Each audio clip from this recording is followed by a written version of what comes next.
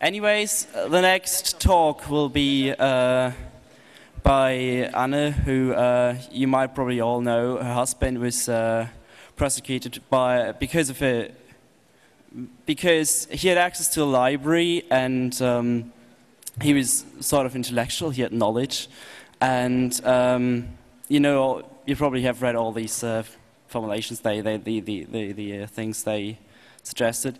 But um, this talk will actually not be very much about him, him it will, will be about other cases all over the world, um, where similarly terrorist uh, laws have been applied to prosecute innocent citizens or basically drastically misused. And um, this misuse is quite a danger for society, I think. And uh, I guess this will be very interesting because I, I, don't think much has been publicized on that yet. So I hope you enjoy the talk and um, please clear the, the, the pathways. That'd be, that'd be very, very great. Anyways, have fun.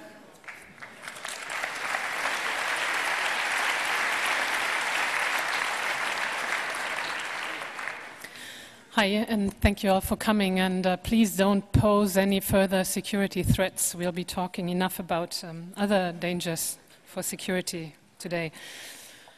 Um,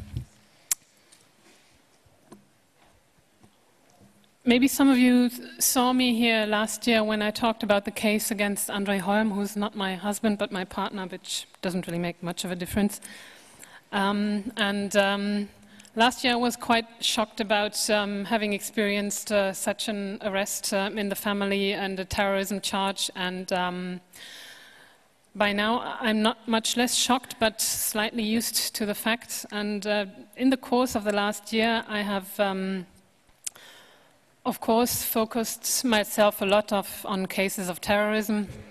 And um, in the time, I noticed that there's many such cases, and um, I would like to introduce some of these to you today because I think there's many others who are similarly um, strange and, and absurd in the way they are being run, and not all of them have so much public attention. I think that the public perception of what terrorism is um, generally goes along rather with, the, with what actually the current EU definition of terrorism is. This definition of 2002 says um, terrorism. Um, terrorism um, offenses are committed with the aim of uh, seriously intimidating a population or unduly compelling a government or international organization to perform or abstain from performing an act or seriously destabilizing or destroying the fundamental political, constitutional, economic, or social structures of a country or an international organization. I think the general perception of terrorism is that um, involves um, massive violence against people, many deaths, um, and, and probably some kind of, of situation that creates danger for a government or a state in itself. The cases um, that I'm going to talk to you about don't fit that description very well in my perception. I would like to say, though, that of course um, the, the information that I have about these cases is not complete. In most cases, the investigation is still going on. Um, it's not quite clear what really happened, and um, the, still the investigation is running and the files are generally not public, so I will inform, tell you the best of what I know, but, but um, it may not be the complete information that we might find out about later when the cases will be closed eventually, I hope so. And of course, um, in cases like this, um, political views are involved, and there's often many different views, specifically um, differences between the prosecution and the, and the defendants. And uh, I will also, of course, leave out some of the details because I will just give a basic overview of what is going on. The first case I would like to talk about is a case um, that um, took place um, in Nottingham, Great Britain, where um, in, on May 14th of this year, um, two members of the university were arrested under the Terrorism Act of 2000 of Great Britain. Their names are Hicham Yezza and Rizwan Sabir. And they were arrested because they had copies of the Al Qaeda training manual on their computers, One of the two had downloaded this from the United States Department of Justice website.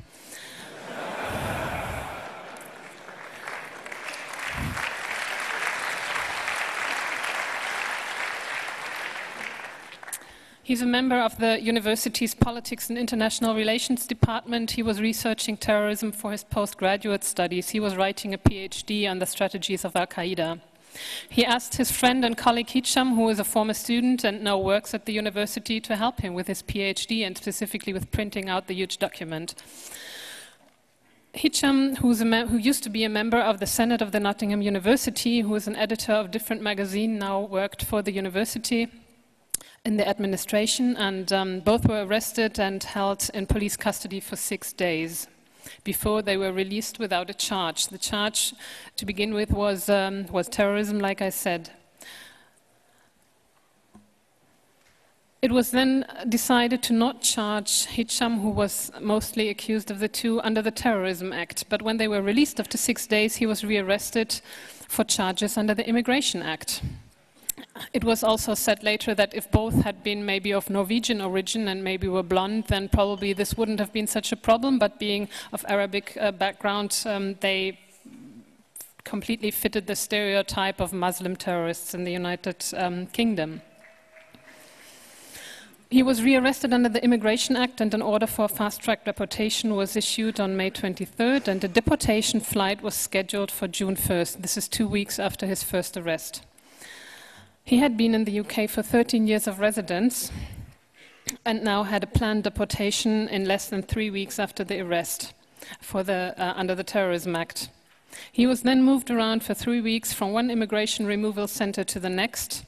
And after a huge protest campaign, of which you can see one picture, which was quite impressive, I find, he was released on bail as far as I know, the investigation concerning his uh, possible problems with immigration laws is still going on.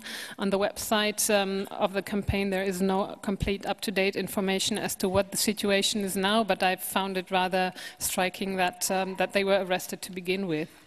Rizwan, the one who had downloaded the manual, later said in an interview if they had just asked my professor why I was looking at this material, they would have understood that it was research. Instead, they chose to start an anti terror investigation.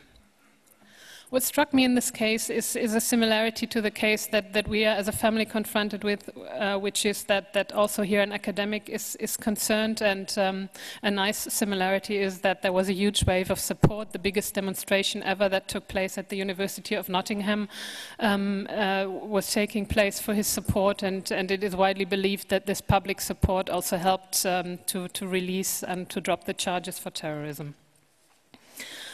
The next case I would like to talk about um, is a case that um, took place or is actually still taking place in Portugal. This is the, the British suspect. And the case in Portugal um, is a case against 150 activists who, in the August of 2007, destroyed a field of genetically mod modified corn plants of one hectare in size. This field uh, is located in the region of Algarve, the first region in Portugal that was declared GMO free by local authorities. It was the first time this kind of action was being carried out in Portugal. Um, in other countries, this takes place more often, particularly in Germany. This kind of so-called mowing of GMO plant uh, fields is, is, actually quite common. It is considered more an action of civil disobedience, not necessarily by the owners of the fields, but by the activists. It is not considered a majorly violent action, but, but is um, tried to be seen as civil disobedience against, against something that, that is hard to protest against, which is genetically modified organisms being used now and endangering nature. This action took place during the day with press present, and until today, there is a video online with a documentation of the action and reactions by the public, and especially the owner of the field. It is in no way what you would expect to be a terrorist action that is hidden in the, in the dark, where it's impossible to identify anyone and, and impossible to really see what was going on. The video I find extremely interesting to see because it also includes um, many statements of the people who were involved. After, after this happened, there were strong reactions in the Portuguese media.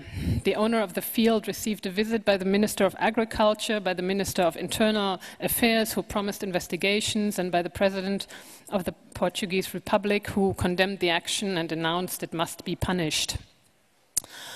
In September, the investigation went on. Um, so far, there are no formal charges, but um, uh, they are being threatened against the activists who don't really know what, what they will be facing. And the action was classified by the government as terrorism and, um, and in result um, also by Europol, who is collecting and, and doing statistics on cases of terrorism in the European Union. Europol said that um, in other cases that, that, that, that are falling in these fields of so-called single-issue activities. Terrorism cases are, are divided into left-wing terrorism, right-wing terrorism, Muslim fundamentalist terrorism, and then there's a so-called single-issue terrorism. Um, and, and, normally these cases of single issue activities are declared to be extremist but not terrorism. Portugal chose um, to have this, um, the first case to be um, investigated under the new Portuguese law against terrorism um, to, to have their first case of, of terrorism also. And so um, the only case of, of, terrorism in Portugal that uh, is reported in the Europol report um, for 2007 is, is, this case of 150 activists who during the day trampled across a cornfield. Um, there's one other case which is of right-wing extremism, which is an entirely different matter, of course. This case doesn't really have much similarity to the case against Andrej Holm, uh, but um, basically it's it's um, it's a form of action. What that's maybe similar that, or, or vaguely similar that, um, is is labeled terrorism, which which normally is not that uncommon. Um, it's, it's the first time in Portugal that something like this happened, and it is quite obvious that the activists didn't expect this kind of reaction. They did not expect to be prosecuted as, as terrorists. And um, one could argue that the actions of the militant group, which is what Andrej is still accused to, to be a member of, um, are also mostly symbolic actions. It's not violence against people nobody was ever hurt. It's mostly paint bombs against, for example, unemployment agencies, cars being burned, or minor property damage.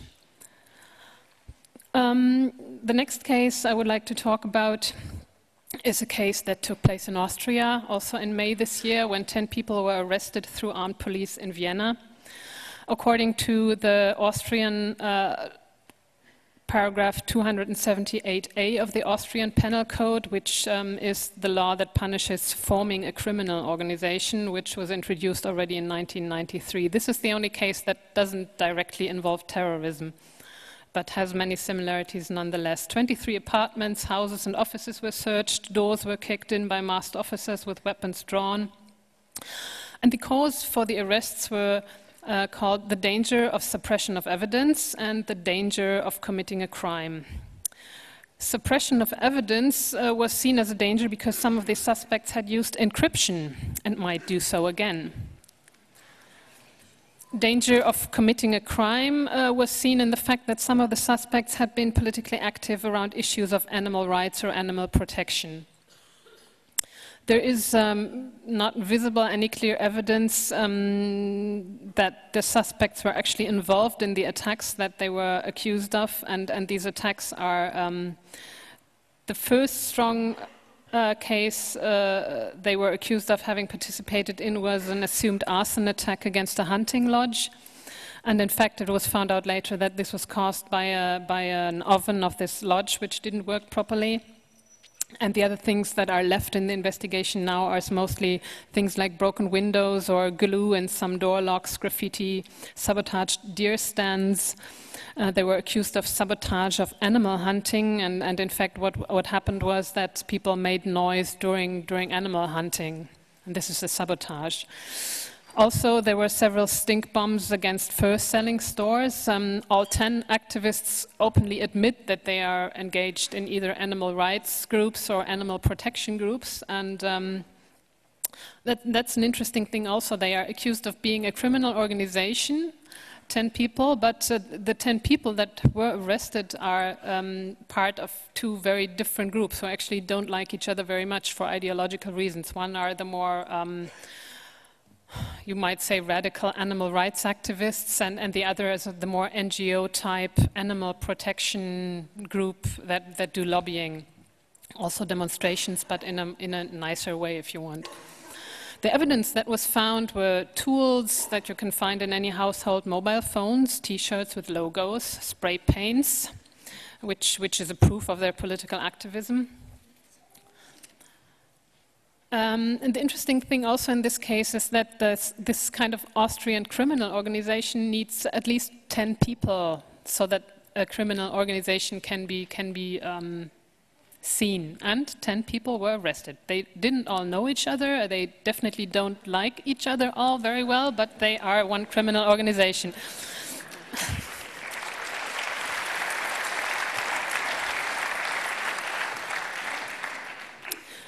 this uh, paragraph 270 8A, I was told by some of the activists I met in, in fall of this year, um, is designed to prosecute organizations regarded as organized crime. Most countries have laws like this, and, and specifically was used mostly like, like mafia-like organizations um, so far, and was the first time it was used against political activists.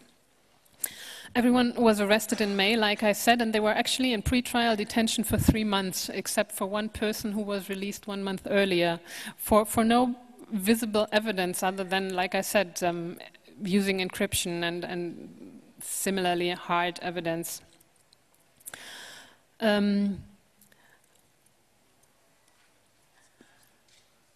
the similarity here may be same as as for Andrej, is that there was no real evidence presented. The, the evidence that was used is mostly, if you want, ideological. They were accused of having been active around animal rights, and, and this was apparently enough to then start an investigation with a lot of surveillance and observation in the months before, which led to gathering of little bits and pieces that um, are the, the said um, spray paint or logos or involvement in demonstrations, etc. Andrej did a talk about his own case, I think in April or March of, of this year, and there was someone from Austria in the audience who, who then said, my God, this is terrible that you have something like this happening in Germany. I'm glad that I live in a kind of, of innocent paradise where this would never happen. And in May, he got an email by the same person saying, okay, I need to take this back because now we've also had the same thing in Austria. Um, like I said, everybody was released. Um, the charges are still being investigated, and it's unclear what is going to become of, of these 10 people who um, have spent three months in prison, basically, for, I would say, well, not nothing, but not very much. The next uh, case I would like to talk about took place in New Zealand, where in October of 2007, um, more than 300 special forces police um, did raids in, in, dozens of houses um, all over New Zealand, um, mostly in Maori. Um, this is the indigenous communities of New Zealand. This included, for example, a school bus um, of, of, kindergarten kids that was stopped and searched with drawn weapons, 60 houses being searched, a complete village being shut off. And um, the police said this was the response to concrete terrorist threats by indigenous activists. The result was 12 arrests under the recently created anti terrorism legislation. And um, after the arrests, the Solicitor General, which is the vice state prosecutor of New Zealand um, actually decided that, that um, this could not be a terrorism charge with the evidence that was presented, but it was in the media and, and for, the, um, for the arrested first presented as now you are being charged with the Terrorism Act. Um, arrests were being made nonetheless, um, but after four weeks, all 12 were released. Today, eight people face charges under the Arms Act for alleged participation in paramilitary style training camps, and five people are also charged with being members of an organized criminal group. Also needs to be said here that New Zealand passed a new anti-terror uh, law after 9-11 and this was the first case that was being tried under this new anti-terrorism law of um, New Zealand. Um, The terrorism charge was not accepted, but the Arms Act, if, if they would be judged by that, would lead to four years of prison, and the, the criminal organization would um, result in, in up to five years of prison. The current situation is that pre-trial hearings are going on, which um, is a legal well, all countries have different legal situations, and many of the Anglo-Saxon countries have, have this thing where they have pre-trial hearings, and, and only then it is decided whether a formal trial is actually started in court. And this is going on in New Zealand now uh, for months already, and um, the people who are concerned say that uh, they expect the trial maybe to start in the end of 2009. Interesting detail I find is that, um, since I'm talking to a, to a chaos congress here, that um, the police think that um, a encrypted chat room was used to organize the training camps, and, and this encrypted chat is, is to be found at http um, slash slash voodoochat.net. Um, and, and, the police apparently didn't manage to break into this chat and therefore thinks that this is a highly conspiratorial method to organize very dangerous things um, just because they couldn't open it. They have no idea of what actually was talked about or, or organized in this. Also in the raids, several servers were confiscated with the result that different Maori websites um, disappeared and are not back online until today. Um, the public attention in this case in New Zealand was rather high, obviously. Um, I, I, remember finding um, media reports also in German or, or, different media outside New Zealand about this case, but the attention decreased naturally after the de decision not to charge under the Terrorism Act. The investigation is, is still going on, though, and, and the possible sentences that might come out of this are quite hard.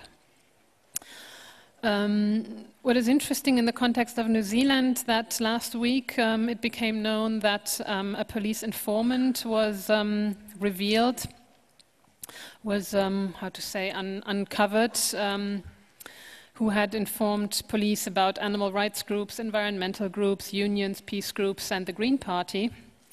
Um, his reports include not only um, details about communication methods, but also phone numbers, demonstra demonstration plans, etc., but also information on sexu sexual relationships, travel plans, or sources of income. This is not very surprising. I mean, we all probably assume that police are using informants in, in any kind of community that they consider of interest for whatever reason, so that's not really surprising, but I find it rather rare that, that it is um, possible to, to actually find out details about how this work is being done. And it's actually quite interesting how this, how this was done. Um, this person who had been an informant for more than 10 years in the New Zealand activist communities had a had had his computer broken and um, asked his girlfriend, who's a computer programmer, to fix his computer. She found strange emails on his computer that he apparently didn't bother to hide very well and installed some spyware on his phone to monitor his text messages and calls and set a script on his computer to continue sending his emails to her. She even downloaded a year's worth of phone bills and decrypted documents he had encrypted, and as a result, it became clear that he was communicating and working for the police. The similarity in this case um, to, to the case against Andrej and the militant group in Germany is that um, in the beginning there was a huge public attention, and this is a similarity in many of these cases, as long as it is a terrorism case, and after the terrorism charge um, drops, people seem to think, okay, so now we, we are back to legal democratic law state kind of structures and everything is fine, but in fact investigations are still going on, but under a different um, paragraph of the penal code.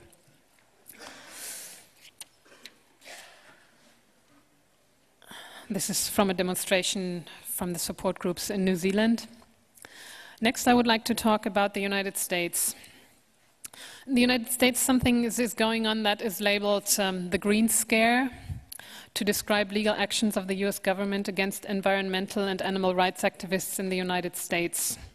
The FBI calls them animal rights extremists and eco terrorists. It's, it's a term similar to, to what was used during the McCarthy era, in the 50s, the Red Scare. The topic, the topic ecoterrorism appeared in 2002 in a hearing in Congress the US Congress. And um, since 2000, there have been more than 20 cases of, of investigations and trials.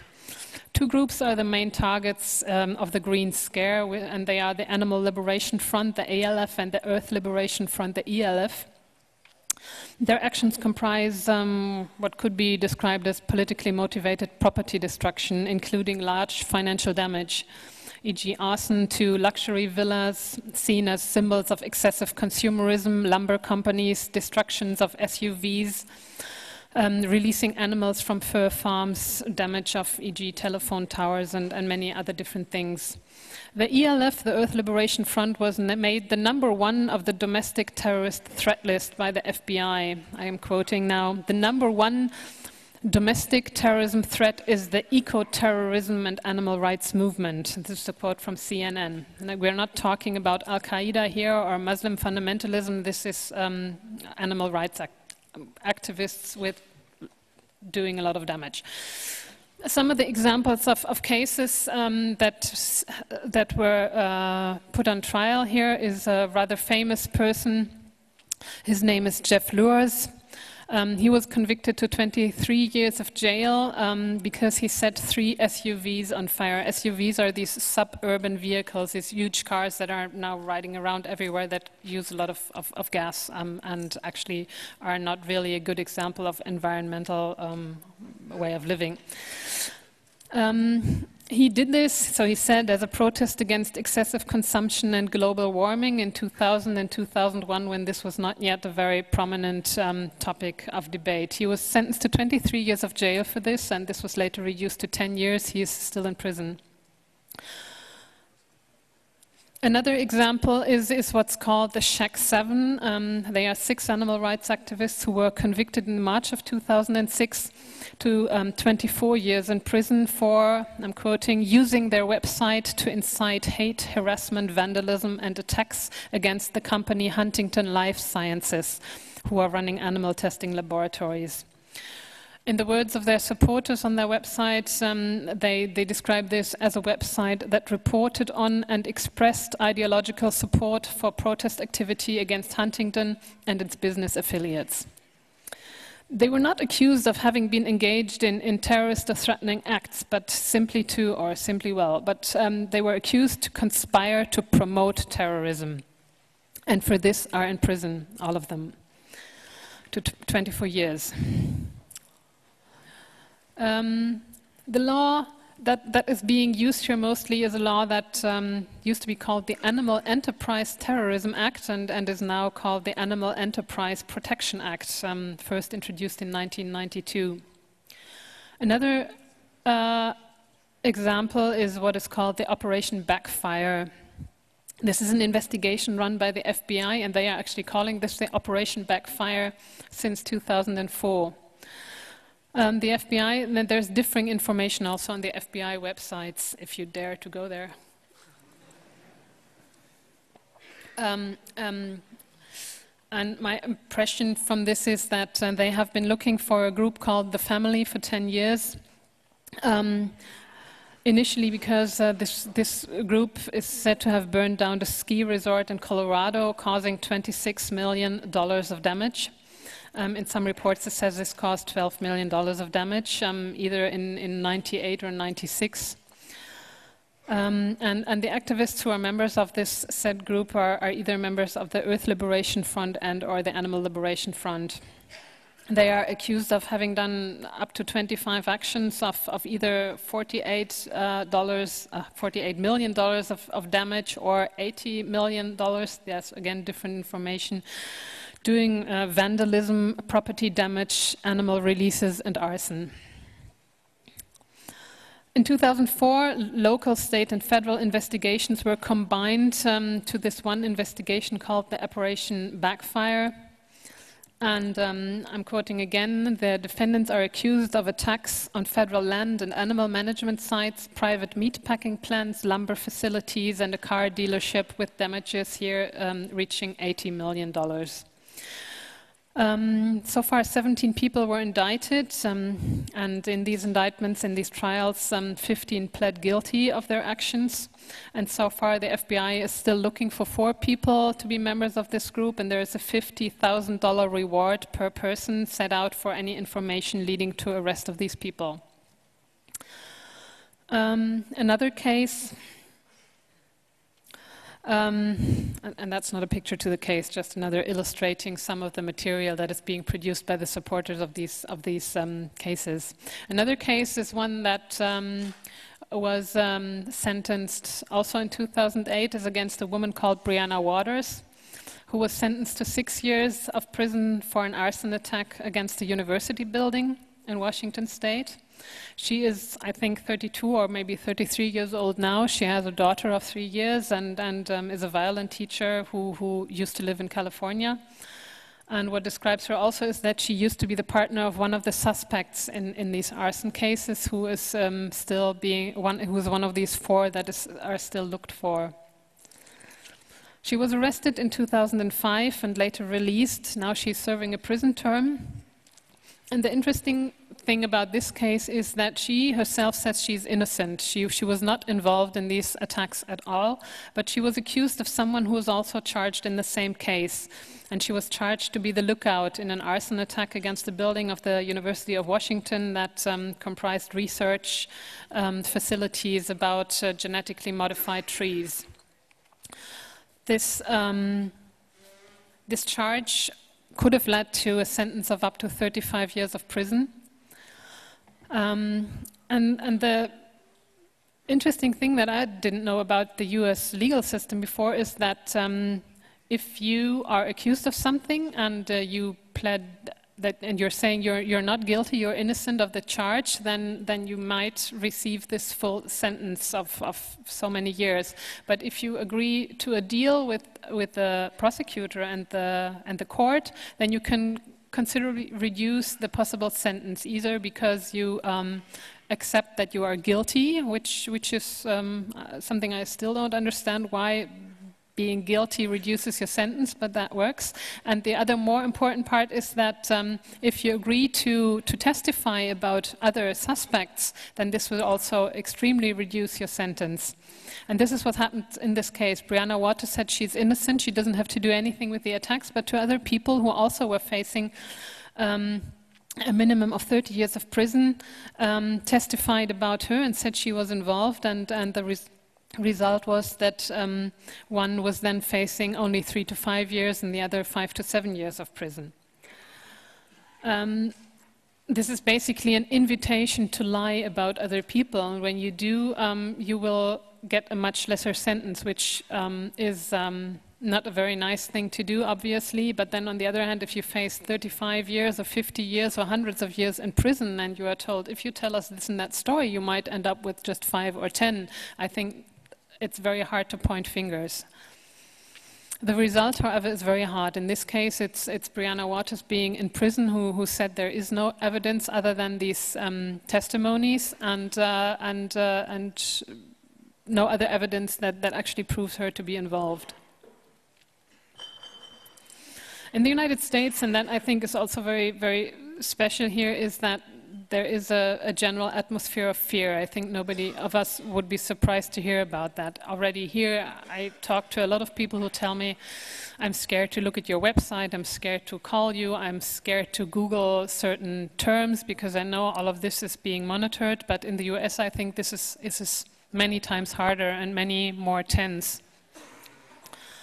Um, there's there's no fly lists that when you ever get targeted as, as somehow involved in suspicious activities you may not be able to fly. There is um, one million people on the so-called terrorism watch list who, who have some kind of consequences uh, and, and it's very difficult to detect how you get to be um, on these lists. And, and it's even more difficult and practically impossible with legal uh, methods to get out of this again. So the result is that most people don't dare to, for example, um, express support when other people are concerned.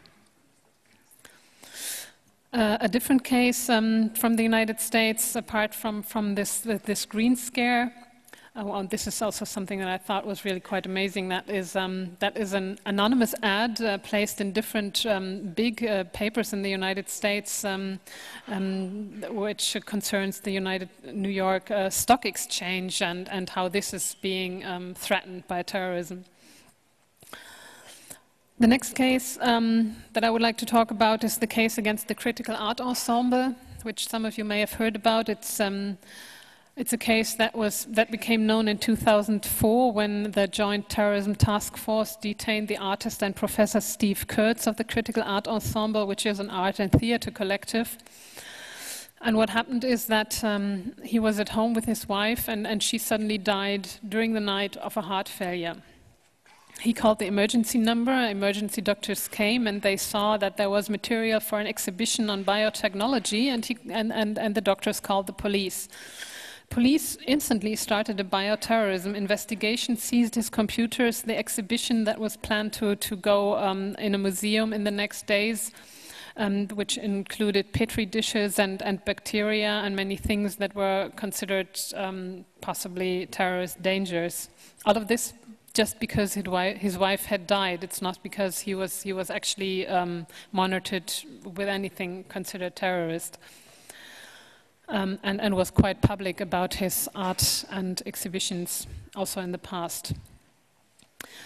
His, his, wife's body was confiscated during this investigation. Kurtz was released after 22 hours, and later it was found that all material was harmless.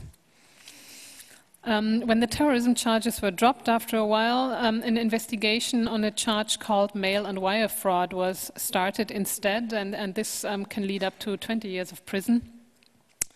Um, the Critical Art Ensemble is rather well known for exhibitions, books, and public debate on issues such as um, GMO, biotechnology, but also electronic civil disobedience and digital resistance.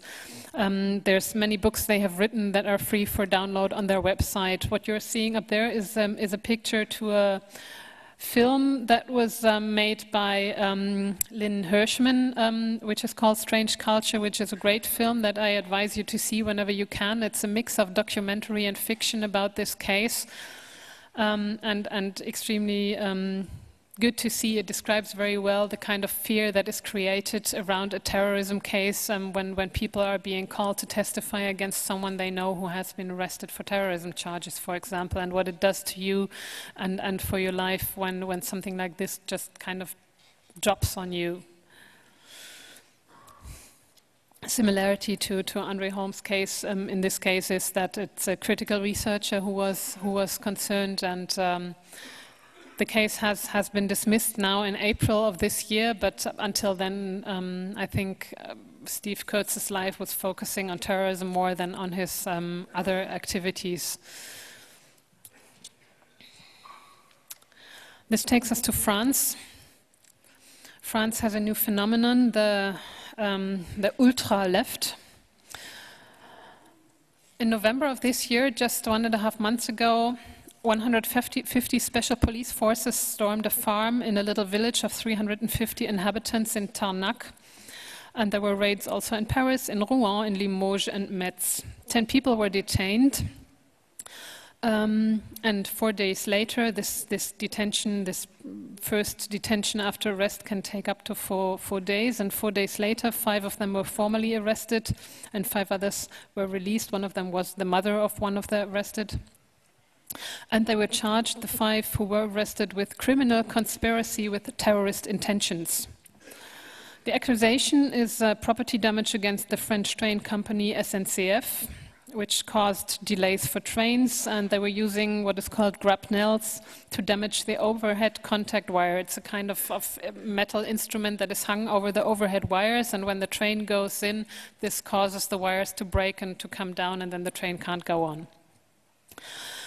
Three days before the arrests um, was the night when the Castor transport with nuclear waste um, was moving from France to Germany. You may remember this in the news. Um, and um, then such an attack took place.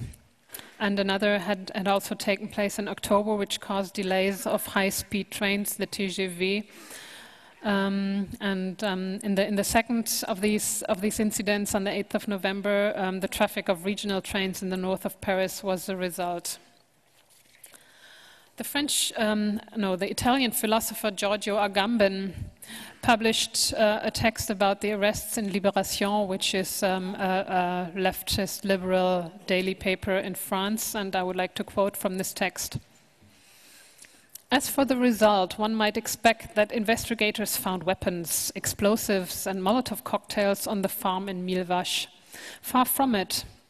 The SDAT, that's the Special Terrorism um, Police, SDAT officers discovered documents containing detailed information on railway transportation, including exact arrival and departure times of trains.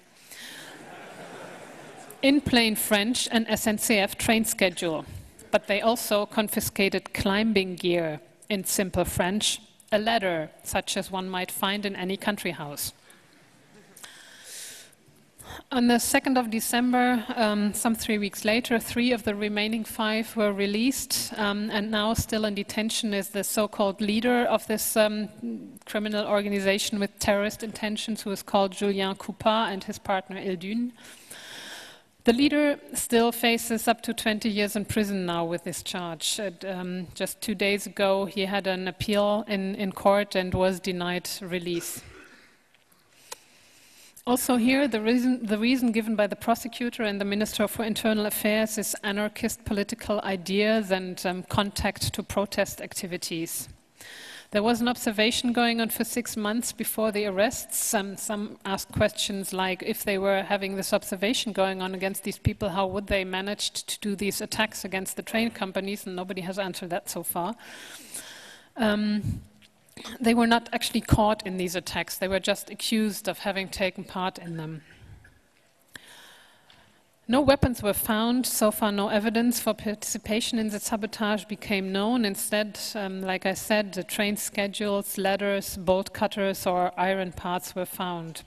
Also, it was um, mentioned in the arrest warrants that, uh, that the accused took part in a demonstration against a summit about immigration in Vichy earlier this year.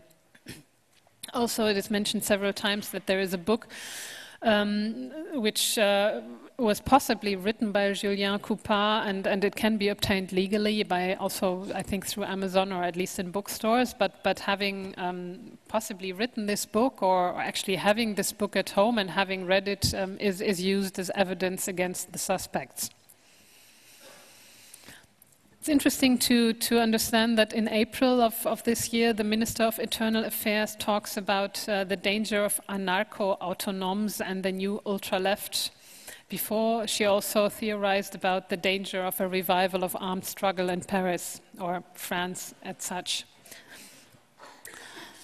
Um, there is a wide public debate in France going on. There is another similarity here also with the case against Andrej Holm, since one of the suspects, the leader of the organization, is actually a, philosopher. Um, himself and, and closely tied to um, to, to uh, elite university for social science in Paris. There's a lot of, of debate um, amongst philosophers about this. There's an open letter and a petition um, in his support signed by many academics, and there is a public debate in, in the media about this. Um, what is terrorism? A debate that we had in Germany about a year ago also, and which keeps coming back. It is said that in times of the attacks of Bombay, is, is these, uh, these sabotage activities against trains, is that terrorism? This is one of the posters um, being done in support of, of, the, of the suspects. There's also an open letter by the, by the parents of those who are accused who, who protest against um, their, their children being made to terrorists without any uh, visible evidence actually being there. It's maybe also interesting to note that um, that this took place in this very little village somewhere in the middle of nowhere, where um, since 2002 young people came to to this lonely area that was more and more deserted, and uh, opened a little grocery store, reactivated a farm, and mostly concentrated on on political activity. Yes, legal, open political activity, plus living in this area and um, taking care of themselves, basically. The similarities, like I said, I think are quite, quite obvious. And my time is running short. Um, I'm coming, with this, I'm coming to, this is one of the arrests in that case. Um, coming to cases in Germany that I want to quickly um, just um, mention. There was a case, um, a very similar case in Germany that was started um, in 1999, also involving these grapnels, these metal things on the overhead wires of trains, um, relating to Castor transports of nuclear waste. Um, that took place in 1996 and 1997, and, the result was um, one of the well-known paragraph 129A investigations, raids in 1992 um, against 11 suspects and nine so-called concerned persons. It was never quite clear what, what their role was. This involved complete um, surveillance, um, surveillance of phone GPS devices in cars, um, a copy machine that was used by one um, anti-nuclear activist group was, was completely monitored. Um, and all national meetings of the anti-nuclear movement in Germany were completely observed by the police. The case was dropped years later without any result, but a lot of data was gathered about um, many of political activists in Germany. Interesting here is that now the German police submitted names and information about this case to the French police who are investigating the case in Tarnac in France. Um, there's other cases um, that I'll just quickly mention. Um, the, the, terrorism investigation concerning the G8 summit in Germany, which was started. The, the, G8 summit, you will remember this, was taking place in 2007 in Germany, in Heiligendamm. And there was a so called um, terrorist organization aiming to, to um, destroy, to attack the, the economic uh, G8 summit. Um, one month before the summit, um, there were raids um, in 40 places. It was an investigation against 18 people who were submitted to complete surveillance. Um, when the raids took place, there was a police officer quoted on German TV saying, well, we, he didn't say that they didn't have clear evidence, but what he did say was that we, well, we just shot in the bush to see what starts to move when we try to stir up things a little bit. There was no, no evidence at all, just the assumption that there is this, this organization. This case was dropped in 2008, um, actually some days before the start of the trial against the, the, the three people who are now currently assumed to be the militant group. Another case, which is called the, the Bad Oldesloe case, was started in 2006 as well against um, first four and later 11 people raids in 15 apartments, and it's a case against uh, young anti-fascists who all live in, in a little place in the north of Germany called Bad Oldesloe, um, who, who, were not interested in the G8 summit, which was rather rare, rare among political activists in Germany one year before the summit, because most everybody somehow tried to relate to this um, summit protest activities, which were clear to become quite big. But these anti-fascists were not interested in the G8 summit. They were interested in, in fascists and anti-fascist activities in their village, and, and this was seen to be highly conspiratorial and very suspicious by the police. If they never talked about the G8 summit on the phone, then they must have extremely conspiratorial methods of communicating um, to hide their interest in the G8 summit.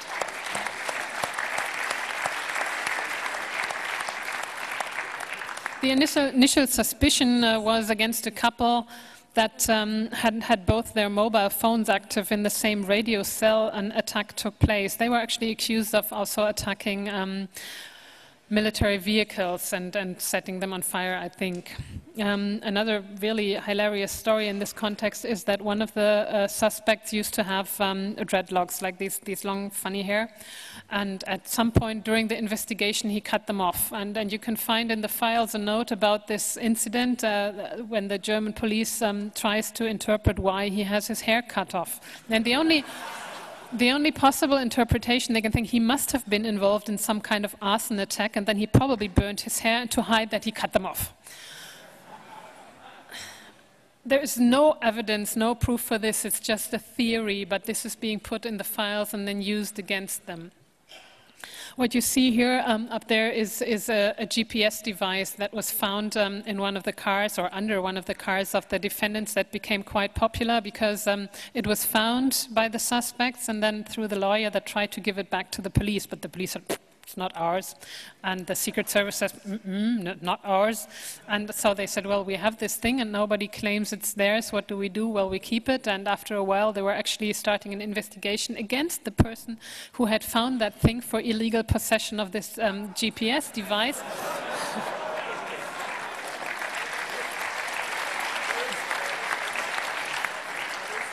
which was then dropped by the judge in court who said, well, if nobody claims it's theirs, it's, it can't be um, illegally obtained or possessed.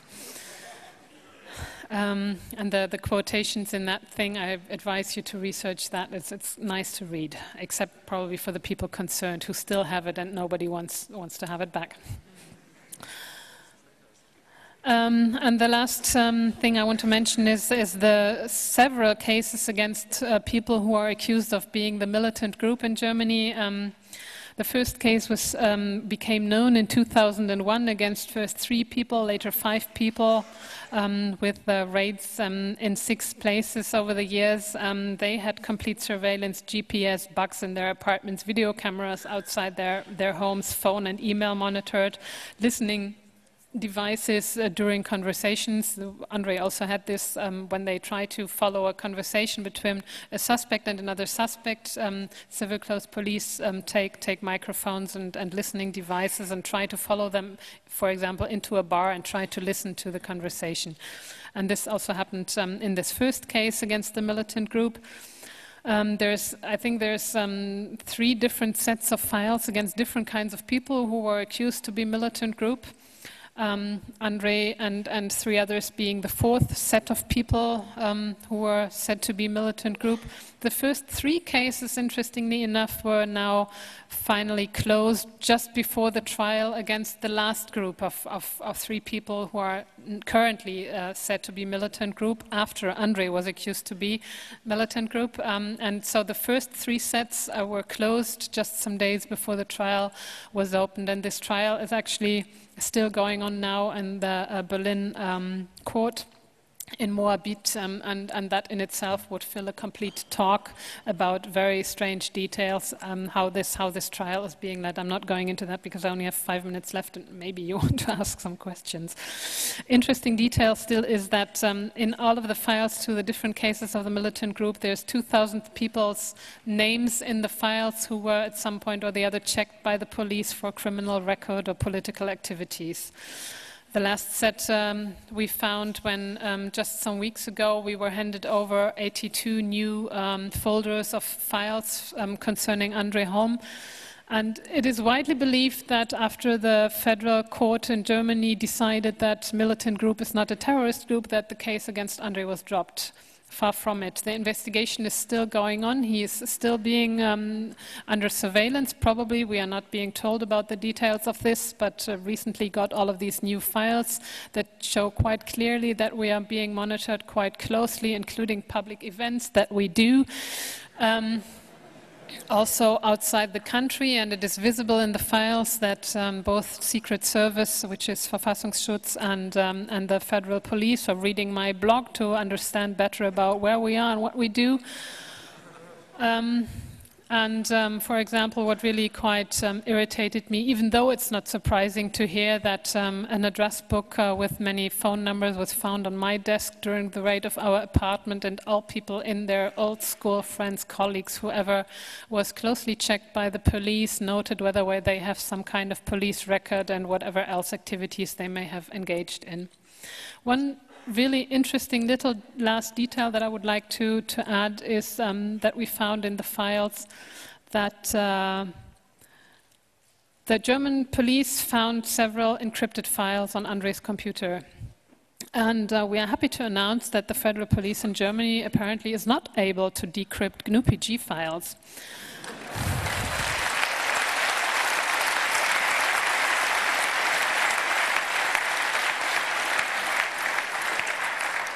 There's an interesting um, communication when the federal police is, is, looking at the files and wondering what they are and looking at the kind of, of files they are. They, after a while, detect them, this must be PGP.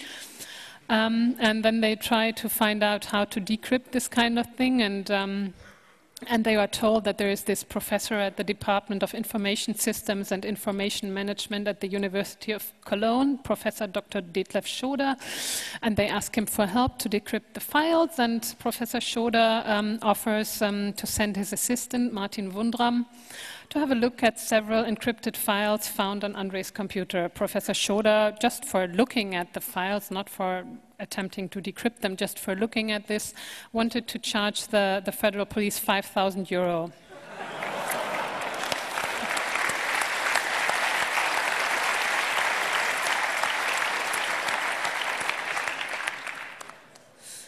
Um, the federal police in Germany said so what are you going to do? Is this going to be successful? And then the professor said that, well, um, he has some powerful machines trying to decrypt, and actually it must be admitted that they also found Andrej's private key on this computer. Um, but with this private key, what he was going to do is basically guess passphrases. Um, and, and, said that if the passphrases are any longer than eight characters and if they contain any special characters, it's practically impossible to decrypt. So now you know how to save your files.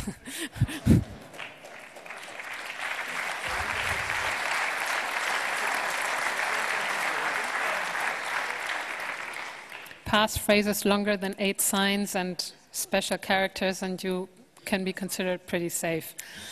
The federal police uh, dropped the offer, didn't want to waste the 5,000 euro, and um, we don't know what they are doing with these encrypted files so far. Um, just some quick conclusions um, to what I've told you this far. Um, I think there is um, a public perception of, of what terrorism is. This public perception is fed daily by politicians and by the media. It creates fear of bomb attacks, of biological or chemical attacks against the wide public in Europe or North America and most everywhere in the world.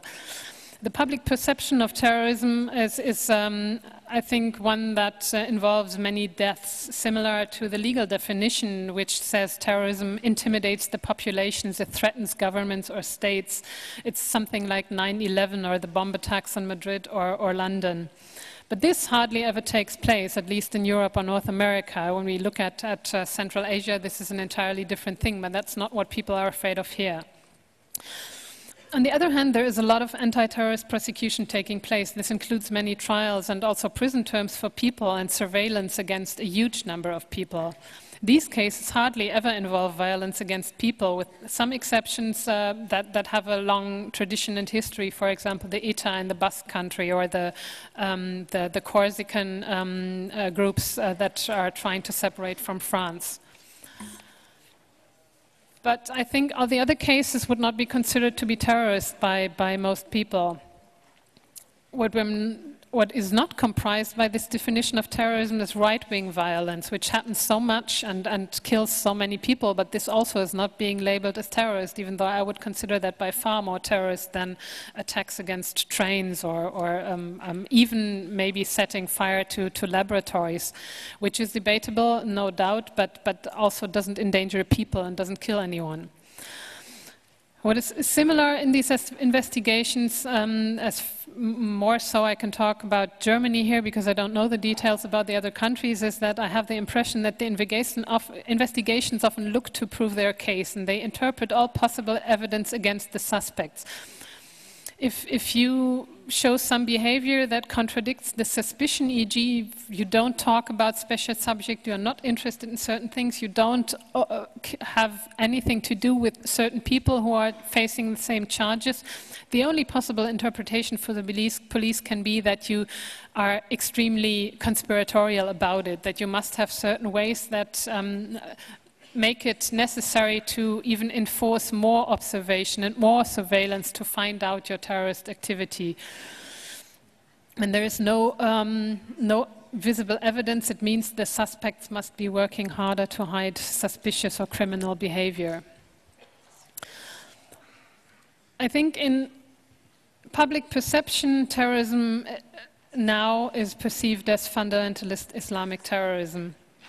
The terrorism investigations that are going on here now concern groups and individuals who express political dissent, who are involved in political actions and sometimes property damages, and sometimes even with a lot of financial damage, but without people being hurt or being killed. There's no comparison, for example, to the attack in Oklahoma City in 1995 when 168 people were killed. Europol counts 583 cases of terrorist attacks in the European Union in 2007. This is from the Europol report on terrorist attacks in, uh, uh, in Europe in 2007. Uh, more of 500 of these are so-called separatist attacks, mostly, like I said, by ETA and the Corsican movements, but also 15 in Germany. When I saw that, I wondered, 15 separatist terrorist attacks in 2007 in Germany? How did I miss that? interesting theory. Um, looking at the report, um, um, I found out that these 15 attacks are, are, said to have been done by the PKK, the Kurdish, um, um, by now illegal um, party in, in Germany, mostly against Turkish travel agencies and such.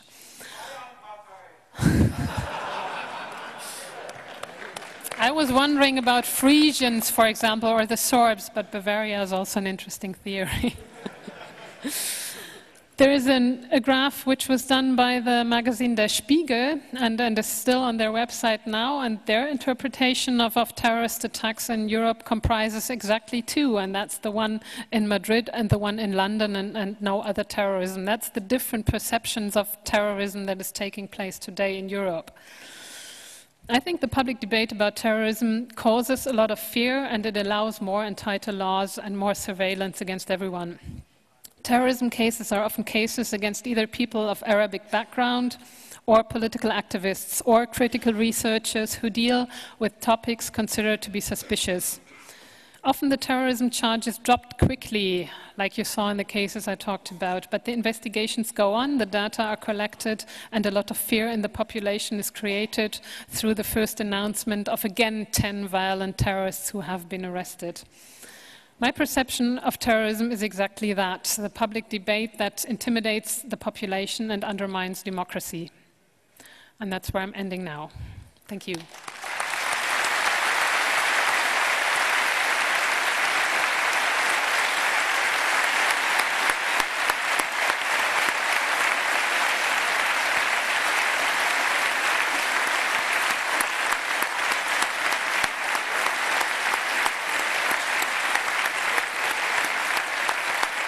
Thank you.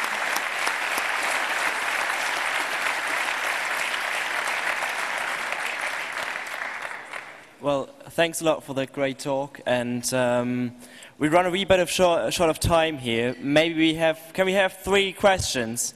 And if you could just pass, pass around the mic wherever you see a hand coming up. And um, if there are no questions, that's, that's good too, but if there probably are.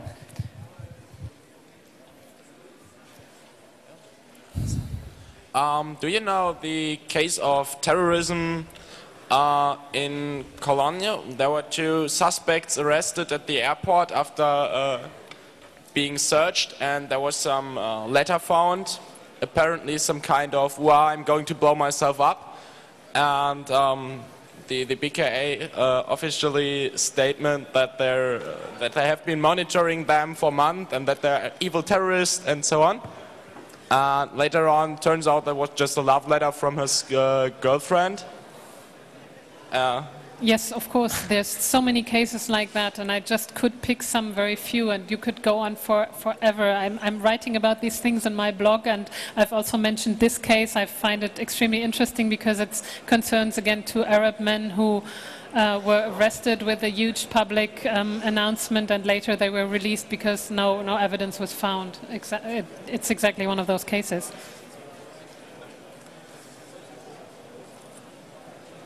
Is there uh, another hand? You just like just start to speak as soon as you've got the mic.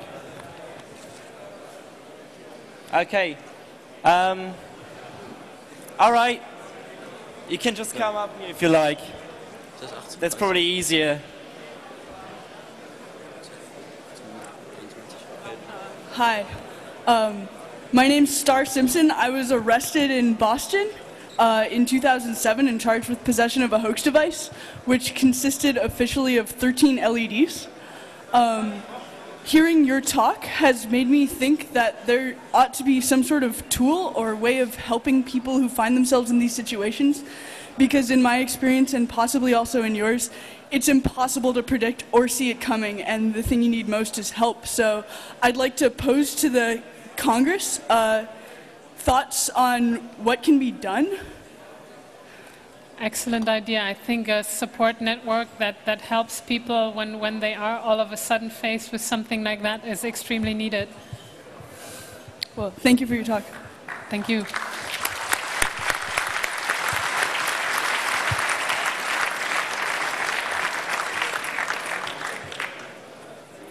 All right, thanks a lot for coming, and um, yeah, the next talk will, will be up soon.